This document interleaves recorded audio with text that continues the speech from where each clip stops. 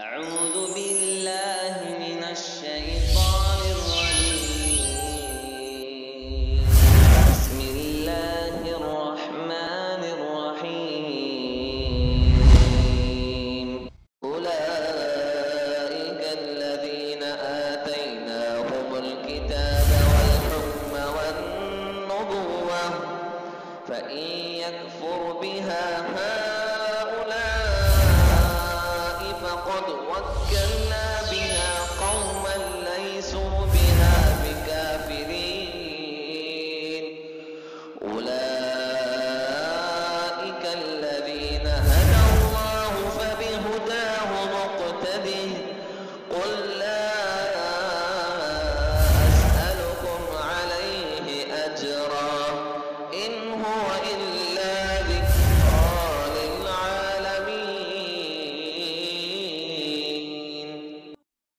خیر۔ ایک سوال یہ ہے کہ جن گناہوں کی سزا دنیا میں دے دی جاتی ہے، کیا آخرت میں بھی اس کی سزا ملے گی؟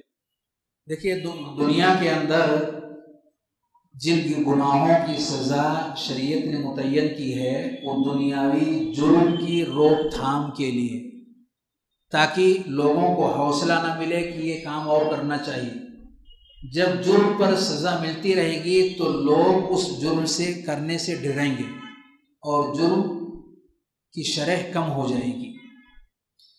پر اگر سزا نہ رکھی جائے تو جرم کو حوصلہ ملے گا اور سماج کے اندر مجرمین کی کثرت ہوگی۔ اس لیے یہ سزا رکھی گئی ہے دنیاوی روک تھام کے لیے۔ آخرت سے اس کا کوئی تعلق نہیں ہے۔ آخرت سے اس سزا کا کوئی تعلق نہیں ہے۔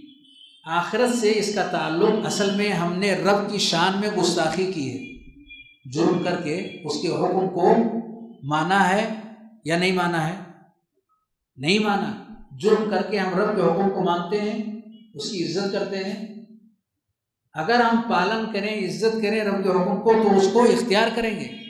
اس کے خلاف نہیں جائیں گے۔ ہم اس کے خلاف میں جا کر کے، اس کے اگینسٹ میں جا کر کے ہم نے رب کی ناقدری کیا ہے۔ رب کے حق کو ہم نے مارا ہے۔ اب ہم رب سے معافی مانگیں اگر ہم نے توبہ استغفار نہیں کیا تو معاف نہیں ہوگا۔ چاہے جتنی سزائیں یہاں بھگت لیں سزاؤں کا تعلق کس سے ہے؟ دنیاوی غرض سے ہے۔ اور اللہ کا جو حق مارا گیا ہے، سزا دینے سے وہ حق حق ختم نہیں ہوا۔ جب اللہ سے معافی مانگیں گے تو اللہ کا حق ختم ہوگا، اگر وہ معاف کرے گا تو۔ ہم نے اس کی شان میں گستاخی کی ہے۔ اس لیے اس سے معافی مانگیں گے، وہ معاف کرے گا تو وہ ختم ہوگا اس لیے جرم سے لینا اور یہ سمجھنا کہ آخرت میں بھی کہانی ختم ہے، نہیں ختم ہے۔ اگر وہ توبہ کر لیا ہے، دنیا میں گرچہ اس کے اوپر سزا نہیں مرتب کی گئی ہے، اللہ اسے معاف کر دے، معاف ہو جائے گی۔ توبہ استغفار کیا، اس کا جرم چھپا ہوا تھا، کوئی حرض کی بات نہیں، اللہ اسے معاف کر دے گا۔ بلکہ یہ چیز بہتر ہے۔ من سترہ مسلمان، سترہ اللہ یوم القیامہ۔